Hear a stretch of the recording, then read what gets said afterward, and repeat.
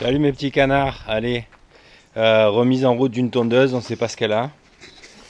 C'est euh, une tondeuse, moteur Bridge Stratton, relativement récent. Ceux-là je les aime pas de moteur, ils sont pas, ils sont pas fiables.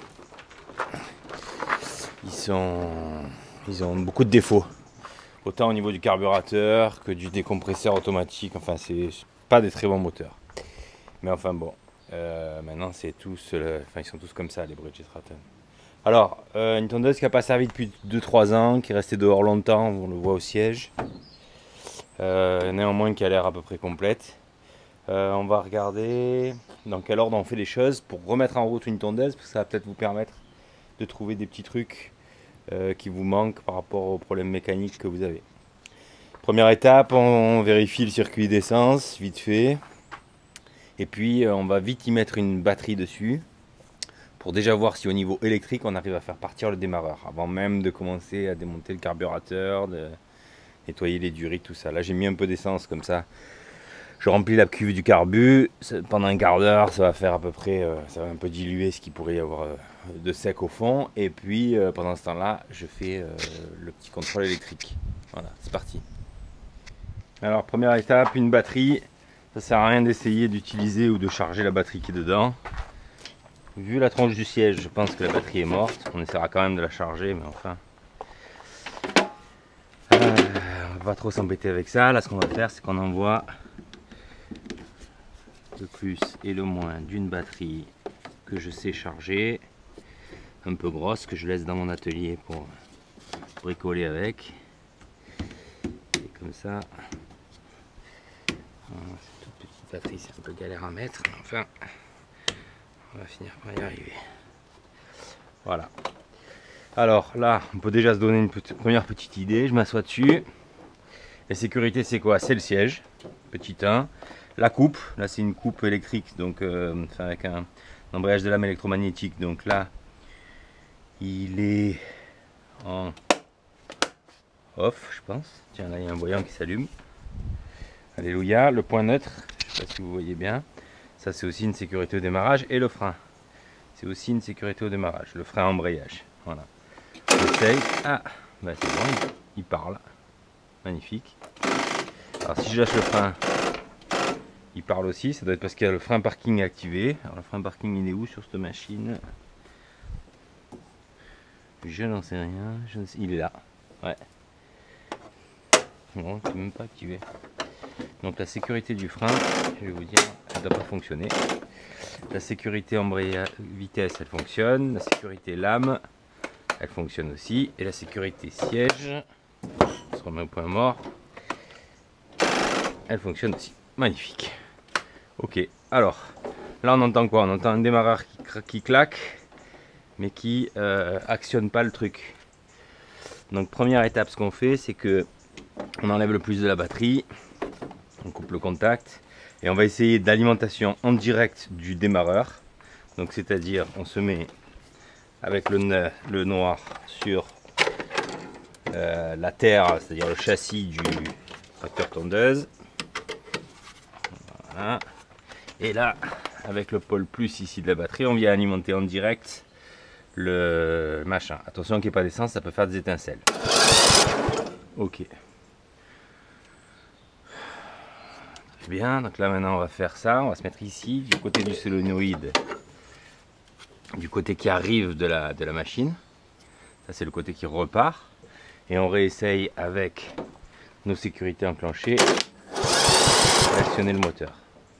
Donc là ça fonctionne. Donc c'est peut-être juste euh, un problème de cosse de batterie où mon jus passait mal. Allez, on va essayer ça avec une connexion un peu différente essayant de bien se mettre sur le plomb de la batterie. Non, on manque de watts. En fait j'ai du mal à attraper le plomb de la batterie. Hop, on va essayer comme ça. Non, pas.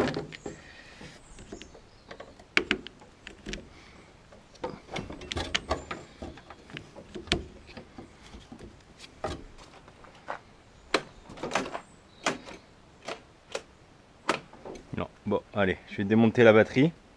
mettre l'Écosse en direct dessus pour vérifier qu'il n'y ait pas un problème, genre de solénoïde qui colle mal ou, un problème de câblage tout court. On, s'y remet. Tiens, alors au passage, ça c'est mon testeur de batterie. C'est un testeur pas cher à 15 euros ou un truc comme ça. C'est pas un testeur électronique incroyable qui vous dit tout un tas de choses, mais enfin ça vous donne quand même une bonne indication. Donc là, je me mets sur le moins. Là, je me mets sur le plus. Qu'est-ce que j'observe.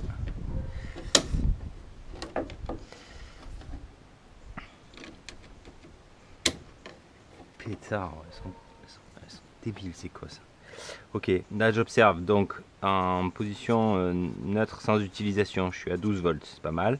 là j'ai un bouton, en réalité c'est une résistance qu'il y a dans l'appareil qui est là, là, derrière cette grille ajourée, permet de tester la batterie quand elle force, c'est-à-dire tester un peu l'ampérage, la puissance euh, qu'il peut y avoir dans la batterie. Et là donc quand je fais ça, vous voyez, je descends très très bas. Une batterie qui est bonne, elle part de 12, elle descend jusqu'à 10 max. Là elle descend jusqu'à 2 volts, donc euh, voilà, elle est vraiment très très faible. Donc à mon avis cette batterie elle repartira pas. Mais enfin ça on va, quand même essayer de la charger puis la faire repartir. Voilà. Hop, j'enlève la batterie. Donc qu'est-ce que j'ai fait? J'ai dévissé les causes de la batterie et enlevé la batterie tout simplement. Ça je le remets en place histoire de ne pas le perdre.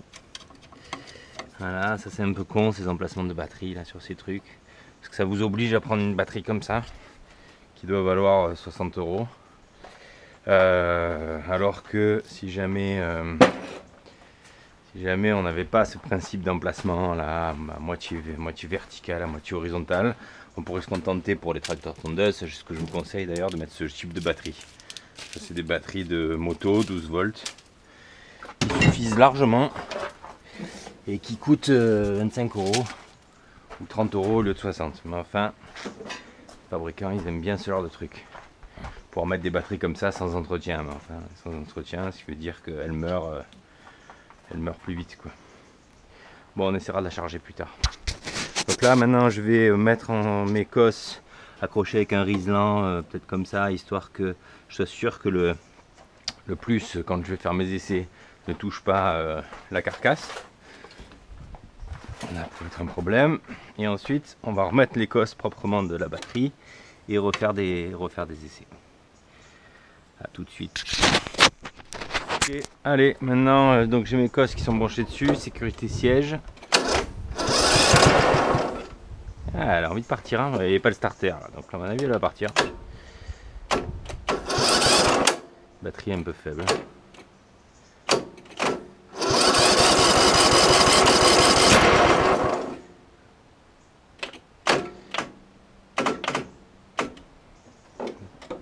contact qui me fait pas là.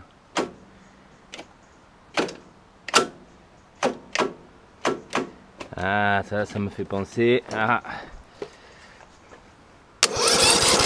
Non. Non, j'ai des connexions qui sont pas bonnes.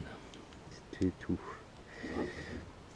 Parce que quand vous avez ce type de moteur Bridge Stratton qui fait ça là, qui, qui, essaye de... Vous sentez qu'en fait le démarreur essaye de forcer mais n'y arrive pas. Comme là par exemple, vous voyez. Ça, c'est souvent sur cette génération de moteurs là, c'est-à-dire la volute en plastique, Bridgestone, monocylindre entre 300 et 500 cm3. C'est, j'en ai des tonnes de moteurs comme ça. C'est le petit décompresseur automatique euh, qui est cassé et qui donc ne fait plus la petite décompression au démarrage qui permet au moteur de se lancer, enfin qui permet à la batterie et à son démarreur d'arriver à lancer le moteur, parce que c'est quand même des gros moteurs monocylindres, donc il y a beaucoup de compression. Et ce petit truc sur cette génération de moteurs là, c'est une catastrophe. Ça marche, ça, ça, le, enfin je sais pas, mais j'en ai eu des dizaines où en fait la pièce est cassée. La pièce dure deux ans et puis euh, vous êtes bon pour euh, démonter le moteur pour pouvoir la changer, parce qu'il faut démonter le moteur pour la changer. Ça c'est vraiment très relou. Mais là c'est autre chose parce que temps en temps il part. C'est un problème électrique. Ok. Bon, l'essence est ouverte, il a un tout petit peu parlé, donc ça veut dire que l'allumage est bon. Donc là maintenant, ce qu'on va faire, c'est qu'on va démonter la cuve du carbu pour la nettoyer, parce que dans 90% des cas, vous êtes obligé de commencer par ça. sur une machine qui n'a pas servi depuis longtemps. Et je dirais plus que dans un cas sur deux, c'est l'origine du fait qu'elle démarre pas. Alors on va le faire. Bon ok, bon bah là ça va, c'est un peu plus simple. Regardez là, vous voyez l'essence qui coule. Donc ça, ça veut dire qu'en fait le flotteur du carburateur descend plus. Comme il descend plus, il bloque plus l'arrivée d'essence. Donc le carburateur se remplit, petit à petit ça remplit même le moteur. Donc là on va arrêter l'essence. Et on va commencer par démonter la cuve du carburateur. Voilà. Ça, vous savez ce que c'est? Cette petite écrou là qui permet de boucher la cuve en bas. C'est un électroaimant qui permet l'allumage. Donc ça aussi, c'est une pièce électrique qui est alimentée en 12 volts et qui permet ou pas d'envoyer l'essence carburateur. Sur cette génération de moteur là, en tout cas, bon, sur ce carbu là, c'est ça qui fait office de coupure du moteur, c'est-à-dire qu'en fait vous fermez l'arrivée d'essence au gicleur principal et ça vous coupe le moteur. Donc ça on peut le dévisser facilement avec une clé de 13, euh, ce qui vous permet de vider la cuve des éventuelles saletés qui peuvent se trouver à l'intérieur. Donc là, euh, un problème de flotteur comme ça, j'ai peur qu'on n'arrive pas à le régler très facilement. Je pense qu'il va falloir démonter la cuve de ces carbus. Et ces carbus, c'est une catastrophe, là encore. C'est-à-dire que c'est gavé de petits joints, de petits circuits. De... Et donc, euh, on a souvent de mauvaises surprises avec ça. Mais enfin, on va quand même euh, y jeter un oeil. Voilà. Voilà, donc là, j'ai dévissé, dévissé les deux petites vis de la cuve du carburateur. Et là, je m'apprête à descendre la cuve. Voilà, là, c'est le début des problèmes. Avec ces histoires de joints dont je vous ai parlé. Ok. C'est vraiment une catastrophe carbu. Ouais, elle est très très propre hein, la. Hein.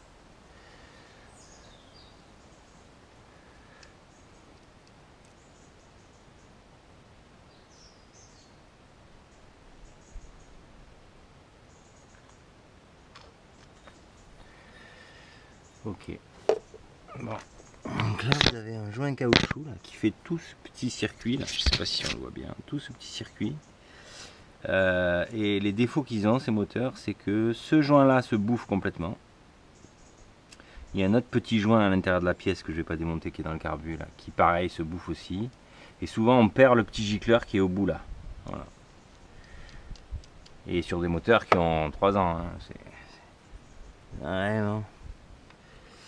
Donc là, je vais juste essayer de faire une remise en place du truc, de le tenir, d'ouvrir mon alimentation d'essence. Je vois mon essence qui coule. Je monte le flotteur et j'observe. J'observe que ça coule plus haut. Donc, euh,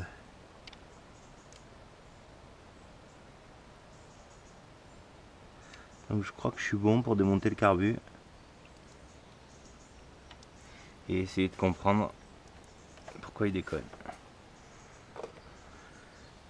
C'est relou. Bon, je démonte le carbu et puis on en reparle. Bon voilà, avant de démonter le carbu, ce que j'ai fait, c'est que j'ai pris un deuxième petit joint en caoutchouc de la même taille que le premier là qui était ici, qui en fait celui-là a séché. Sûrement peut-être parce qu'il n'y a pas eu d'essence pendant longtemps dans le tracteur, donc le joint a séché, il s'est un peu contracté. Et du coup, il a surplus l'étanchéité. Quand je remets ça et que je ferme mon truc, je sens que ça coule par le dessus. En rajoutant un deuxième petit joint là, comme ça, je viens de faire l'essai, hein, ça fonctionne en fait. Donc ce qui veut dire que, euh, bon c'est pas ce qu'il faut faire, hein, rajouter un deuxième joint, là c'est ce que je vais faire parce que j'ai que ça, mais il faut en fait recommander un kit joint, sachant que ne l'achetez pas sur les sites chinois, ça sert à rien, euh, caoutchouc est tellement de mauvaise qualité qu'au bout de 5 minutes ça marche plus, voire même ça marche pas dès le départ, il faut malheureusement le racheter chez Bridget Stratton pour avoir la référence d'origine et la qualité des joints d'origine. Là j'ouvre mon essence, comme tout à l'heure, ça coule dessous, je ferme le flotteur. J'appuie bien dessus parce que quand il y aura la cuve, il sera appuyé. Vous voyez, il s'arrête de couler. Donc je vais le tenter comme ça.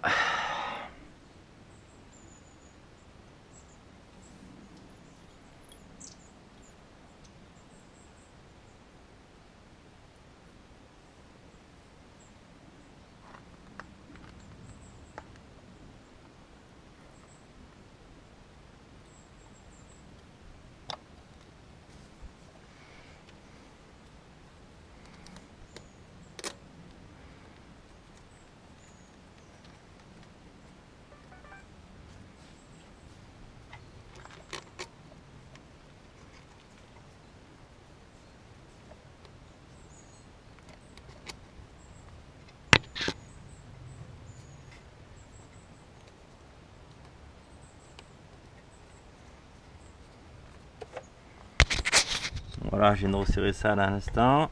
Hop, je remets ça, je mon essence.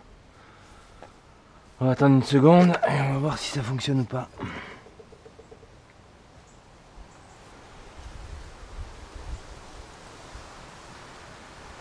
Voilà, là il a plus l'air de, de, couler. Le temps qu'il se remplit, là il doit être rempli.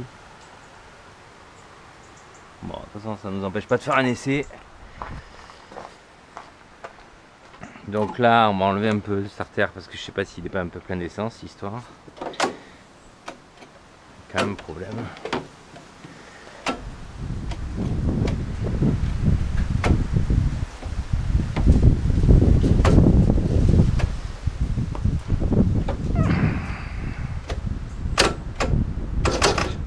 Ouais, je pense que le solénoïde a un problème, moi.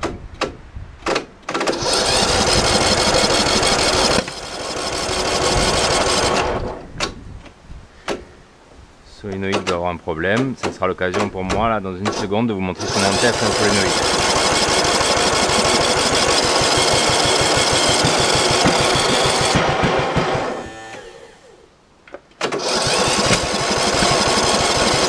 Ah, il est plein d'essence le moteur. Hein.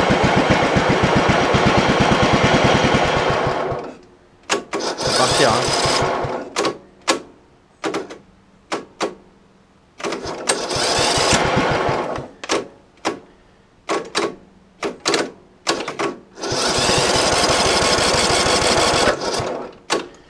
Ok, bon, alors. On sent que le moteur a envie de partir mais il part pas. C'est peut-être un gicleur de principal ou un gicleur de ralenti bouché. Euh, on sent qu'il y a un problème électrique, c'est-à-dire que la connexion n'est pas franche. Donc on va vérifier le solénoïde ensemble, comme ça vous apprendrez à vérifier le solénoïde. Et enfin, il a un peu parlé le moteur, donc je pense que euh, je pense que l'allumage est bon, mais je vous montrerai quand même comment on vérifie l'allumage. Allez.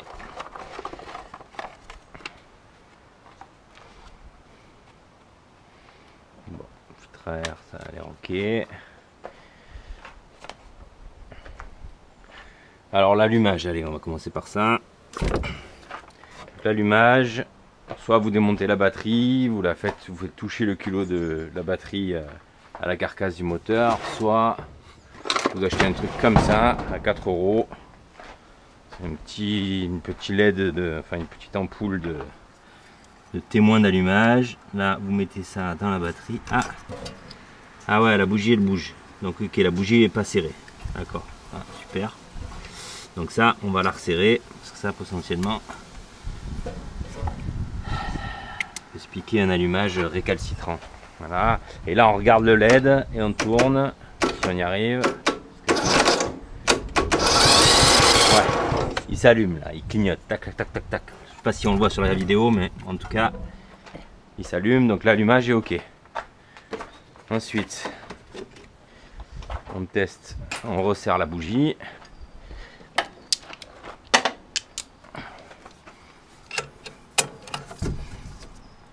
Voilà, sûrement qu'elle avait dû être démontée par le précédent. Ok, ok, ok. Allez, maintenant on va tester le solénoïde. Alors pour tester le solénoïde, on met le moins sur la carcasse de l'appareil, le plus sur le côté qui est là, c'est-à-dire le côté qui n'amène pas au démarreur. Hein. et là, qu'est-ce qu'on a sur un solénoïde On a ici, vous voyez, deux connectiques, une noire qui est la masse et le violet qui est le, le, plus. Donc nous, ce qu'on va faire en fait pour le tester en direct, c'est prendre un petit bout de fil comme ça.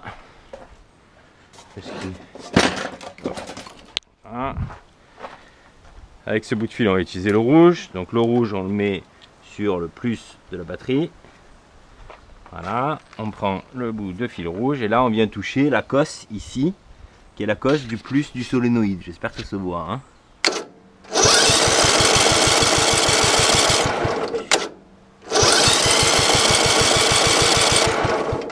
Ouais, ma foi. Il a l'air de marcher quand même. Hein. Ok, donc le solénoïde, ok. Ok, ok. Est-ce que j'ai encore de l'essence dedans? Parce que force de faire le pitre avec mon carbu là, peut-être qu'il n'y en a plus, mais si, il y en a. Donc on se remet comme ça. Maintenant là que j'ai un peu moins de faux contact, on va essayer de démarrer comme ça le moteur, puis que j'ai resserré la batterie aussi. On va un peu enlever le starter parce qu'à mon avis je suis en train de le remplir. Ah. La cosse du solénoïde. Ok, allez.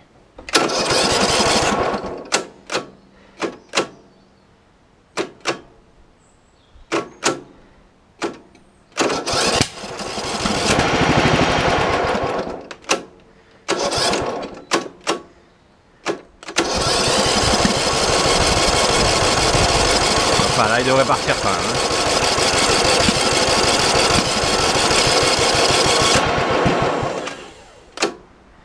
Il devrait partir.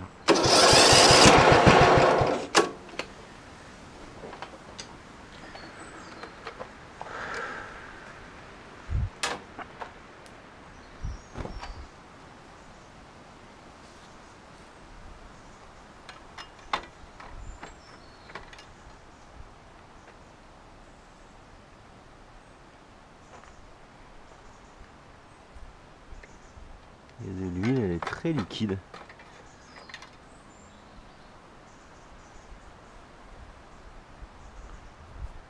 Ouais, alors ça c'est un moteur, vous voyez, qui, qui a une huile qui est très très liquide.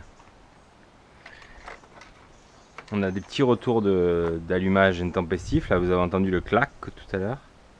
Donc ça, c'est un moteur qui, à cause de son carburateur qui était, euh, enfin, qui, qui auto-remplissait le truc, c'est un moteur qui s'est rempli d'essence. Il a dû se remplir une fois, deux fois, trois fois, dix fois. Donc du coup, ça a dilué l'huile. Euh, donc on va commencer par lui faire une vidange. Et ensuite, on continue. En plus, il se met à pleuvoir. Donc, je vais vous reprendre plus tard. Bientôt, mes petits canards. Bon, alors, je dis souvent ce qui est nul. Donc, il faut dire ce qui est bien. Ce qui est bien, c'est ça. Ce robinet de vidange, là, euh, à l'extérieur du tracteur. Ça, ça, c'est un progrès, ça. Félicite.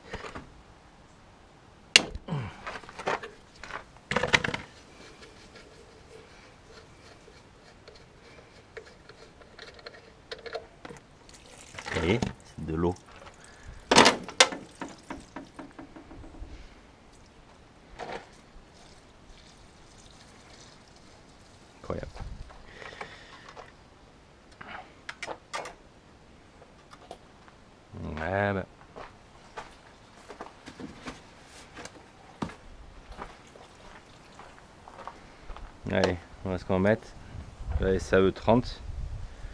Et on va regarder euh, la quantité d'huile. Je me sens pas de chercher de. Je me sens pas de. Donc, quantité d'huile, moteur Bridgestone Powerbolt série 3 130.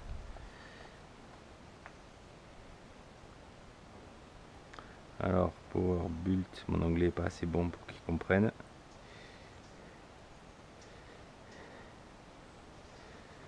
Série 3, 130.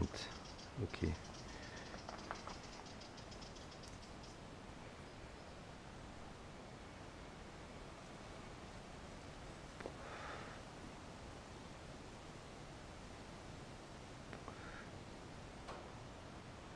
Bon, en gros, qu'est-ce que je vois? Je vois que 1,4 litres. Ouais. Bon, je crois que je vais devoir mettre un litre et puis voir euh, faire le dosage à la à la petite euh, au truc de niveau là. Alors qu'est-ce que j'ai là? Moi j'ai rien.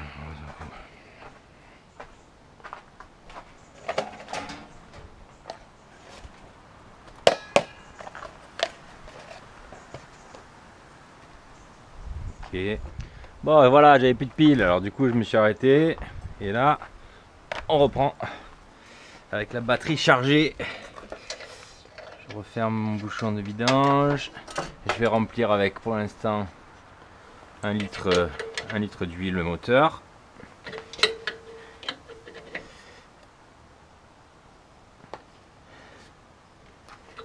Voilà. Donc ça, c'est un bidon de 2 litres.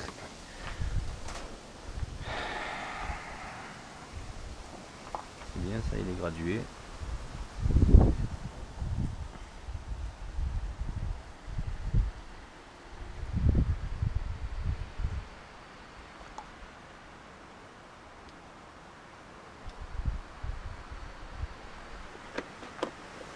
Allez, je fais le niveau propre on reprend. Ok, donc au final, il y allait 1 litre 4, comme euh, j'ai a priori trouvé sur, euh, sur internet. Tiens, du coup, on en profite là, l'ancienne batterie, on va la mettre un peu en charge pour voir ce que ça donne. Tiens, on va faire une petite comparaison avant-après. Donc là, pour mémoire, on avait une batterie à 12 volts en statique et quand on appuyait on descendait à, en graduation des volts, ce qui n'est pas ça qu'on cherche, on descendait à 4 volts. Donc on va y faire une séance de charge, comme ça je pourrais vous dire si ça donnait quelque chose ou pas. Voilà. Mais bon. Donc là on reprend l'essence. Il y en a toujours. Et le robinet est ouvert. Donc ça veut dire que ma réparation sur le carbu, là, mon double joint, il a fait... Euh, il a fait le travail a priori. On va essayer de redémarrer, on va voir ce que ça donne.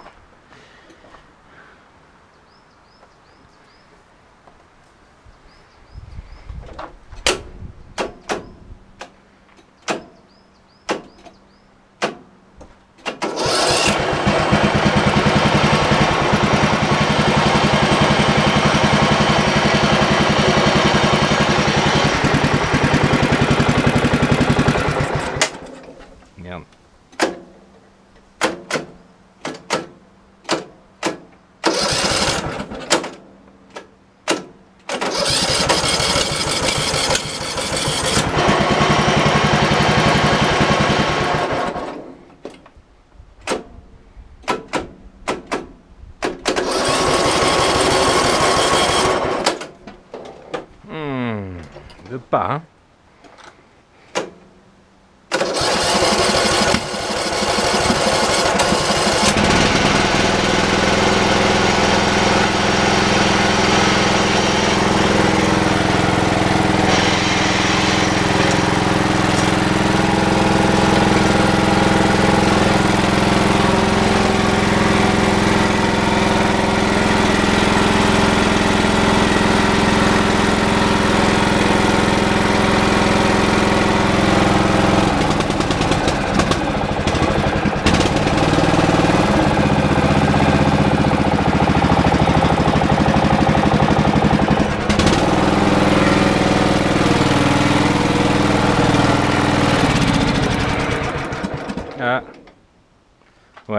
Là, il a calé quand j'ai enlevé le plus, c'est normal, puisque comme c'est un tracteur tondeuse avec un électroaimant sous le carburateur, en fait, il supporte pas le fait de ne pas avoir de batterie.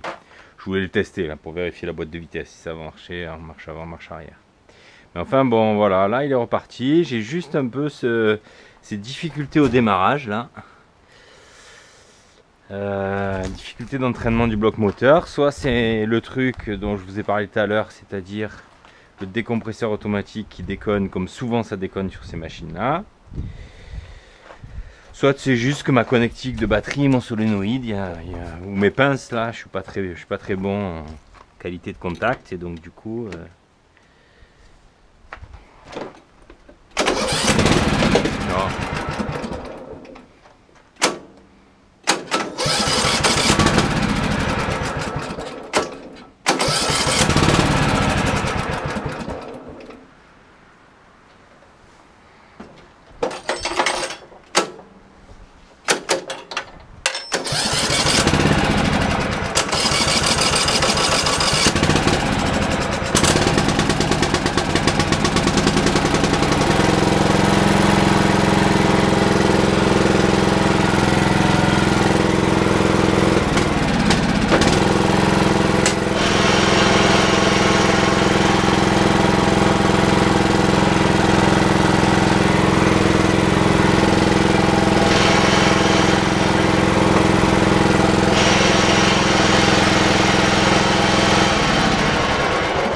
Ok. Donc là, j'ai compris un truc, c'est qu'au niveau de la clé, le, contact n'est pas, est pas franc.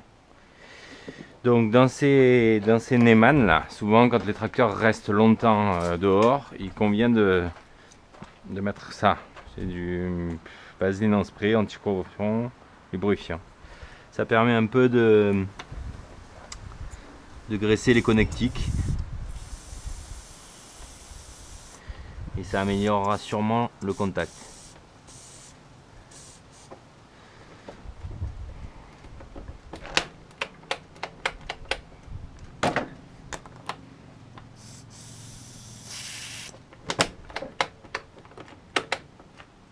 On verra ça. Ensuite, alors là, il n'a pas avancé ni reculé parce que sur ces tracteurs-là, il y a sur la boîte de vitesse une fonctionnalité qui permet de désarmer la boîte de vitesse. C'est un petit levier qui est dessous là. Normalement, il est accessible par une petite tige ici, mais là, elle est manquante.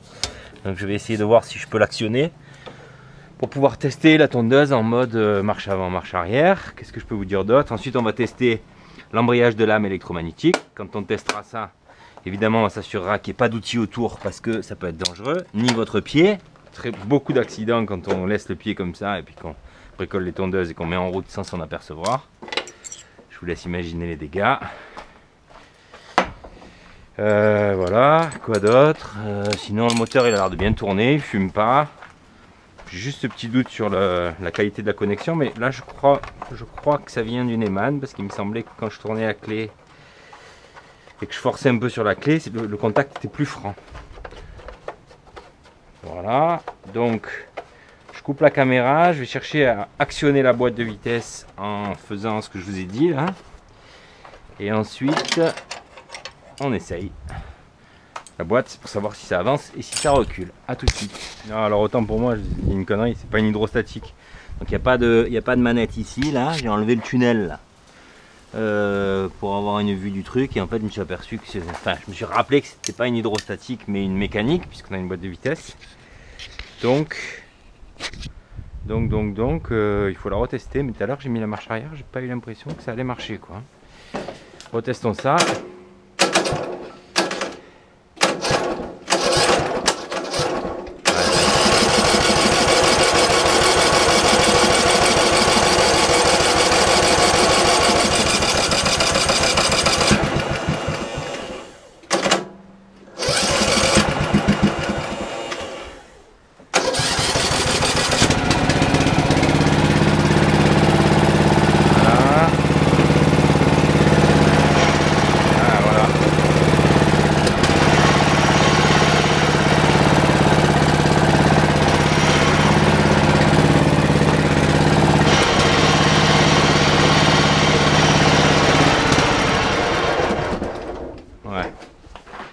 j'ai sûrement un peu des problèmes. Il va falloir que je, graisse et que je tous les petits contacteurs de sécurité parce qu'on sent que quand je me lève et que je me rassois, elle repart pas de suite. Donc ça veut dire qu'il doit y avoir un peu des faux contacts de partout. Mais globalement, là, à ce stade, franchement, c'est une tondeuse. Donc elle a un problème de carbu.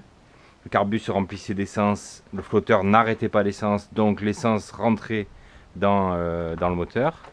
À partir du moment où elle rentrait dans le moteur, bon, voilà, c'est foutu. Hein. Ça mélange l'huile à l'essence. Donc... Euh, je pense que euh, les gens ne sont pas aperçus de ça, donc ils ont dû vidanger une partie, donc on s'est retrouvé avec euh, quasiment que de l'essence dans le bas moteur. Et puis après, il a été immobilisé pendant deux ans dehors, donc euh, globalement, les connectiques, le même le Neyman, là je sens qu'il a encore des faux contacts. Donc tout ça, je vais le graisser avec une bombe un peu mieux, avec une tige fine qui va rentrer dans le Neyman. Je vais graisser tous les contacteurs de sécurité parce que je ne serais pas surpris qu'ils qu fassent que la moitié de leur travail. Et en ce qui concerne la boîte de vitesse, ça a l'air de fonctionner. La seule chose là que j'ai pas testé, c'est la barre de coupe. Tiens, là, on va essayer ensemble, comme ça.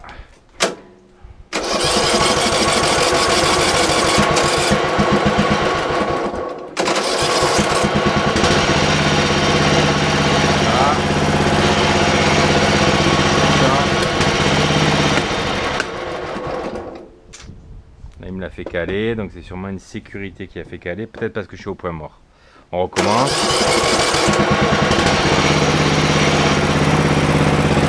Une vitesse. Là j'enclenche. Non. Vous voyez, donc là il y a une sécurité sur la barre de coupe qui pour l'instant me bloque. C'est-à-dire coupe le moteur quand je veux enclencher les lames. Donc euh, ben, je vais chercher au niveau des contacts de sécurité.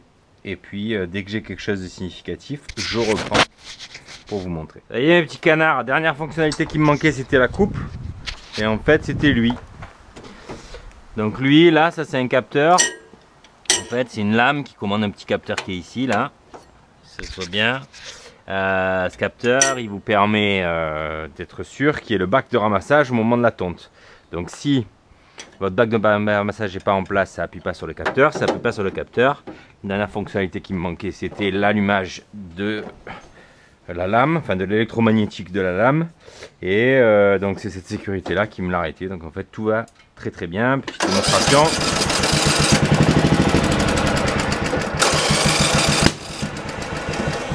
Bon, au niveau du carbu, le, moteur démarre plutôt à bas régime et pas à haut régime. Donc euh, je pense que ce carbu, il faut le démonter et le nettoyer. Je le ferai plus tard, mais là je veux juste vous montrer que ça fonctionne.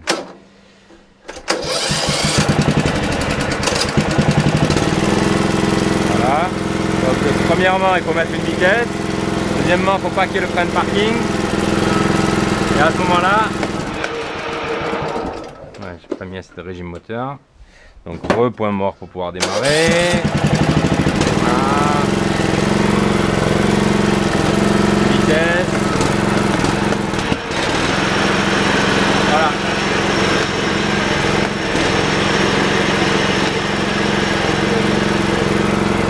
maintenant, ça marche.